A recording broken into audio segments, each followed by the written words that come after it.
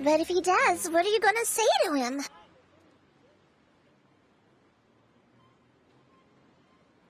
He's been rejected so many times by a ladybug. Maybe he's changed his mind.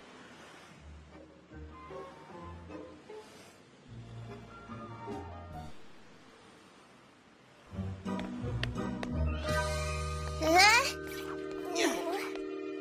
Looks like you underestimated Cat Noir's love of macaroons. Uh,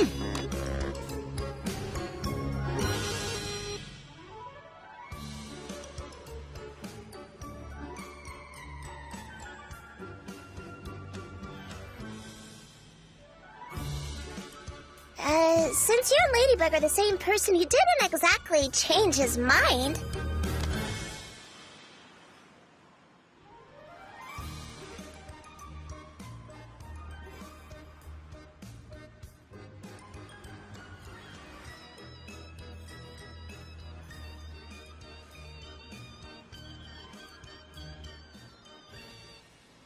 Marinette! Marinette!